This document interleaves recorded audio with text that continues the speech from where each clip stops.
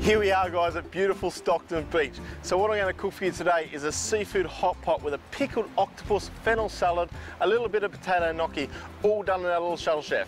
If you don't know what the shuttle chef does, it acts as a slow thermo cooker. So we're going to kick it off now and it'll be ready this evening for us. What you're going to need for this dish is onion, celery, leek, garlic, fennel, saffron, bouquet garni, a bay leaf, potato gnocchi, fish stock, octopus, squid, prawns, mussels and Atlantic salmon. First we're going to sweat off our onion, our celery, our leek and our garlic. Now we want to sweat this off with no colour and that's going to draw the most flavour out of those vegetables. While those vegetables are sweating off, we'll get our Atlantic salmon cut up and our squid tubes portioned. Once that stock comes to the boil, you can get your ingredients in there. So let's get our saffron in there, our bay leaf, our bouquet garni, our gnocchi and our seafood.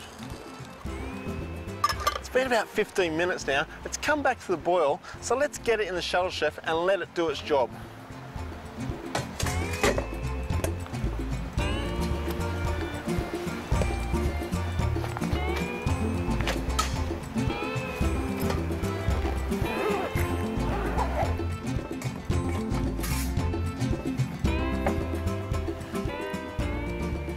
Wow, those flavours are amazing, guys. So all we need to do now is just garnish this up. So we're going to put a little bit of our pickled octopus, mix it through our fennel.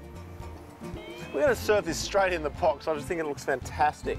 That's our Stockton Beach seafood hot pot. You can use whatever seafood you like in a dish like this. If you like this recipe, go to mr4x4.com.au. I'll see you guys next time.